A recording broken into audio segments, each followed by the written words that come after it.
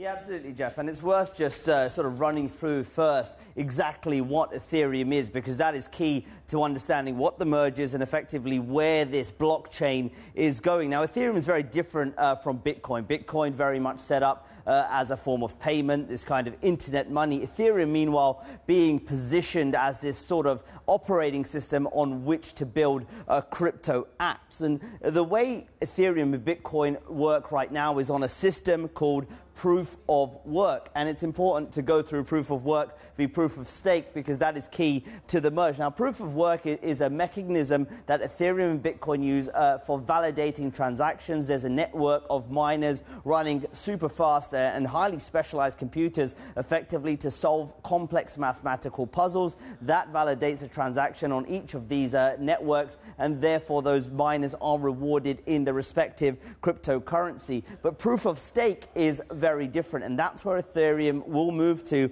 after the merge. And it effectively means these validators on the network, they can stake or lock up uh, a bunch of ether. And this gives them the right to validate the blocks. The more ether you have, the more likely you are to be able to validate the blocks on the Ethereum blockchain. The idea, according to the Ethereum uh, uh, Foundation, is really that people put up their uh, Ethereum Ether as collateral and therefore uh, can be destroyed if some of these validators misbehave in any way uh, as well. The validators can earn rewards in, in uh, Ether but also in uh, transaction fees as well. The benefits are there's lower energy consumptions, but the drawbacks really are this won't necessarily reduce the fees on the Ethereum network, nor will it make the network any quicker at this point. But proponents say this sets the prerequisite for being able to build better apps uh, going going forward. Now, what is happening with the merge exactly? Well, Ethereum is moving from this proof of work to proof of stake.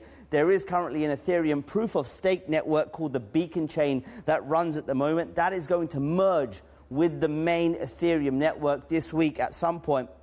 And anticipation is worth looking at how Ether has uh, performed versus Bitcoin since the lows of the year in June 19. Look at that huge outperformance. Ether up around 90, uh, 91% versus Bitcoin at 19%. And that's really to do with the anticipation here that Ether uh, will, and Ethereum will become a better network, a faster network, and that will uh, boost growth. And part of this also is about people staking or locking up their Ether to participate in this. Regulator, regular investors can do this and earn a yield as well. But the risks, of course, are that we're relying a lot on the Ethereum code here, and what if that fails? The demand for new apps may be low. That could dilute uh, the value of Ether. And what if a better blockchain technology comes along some of those competing chains? But so far, excitement is big here, and you're seeing that in Ether's outperformance, guys.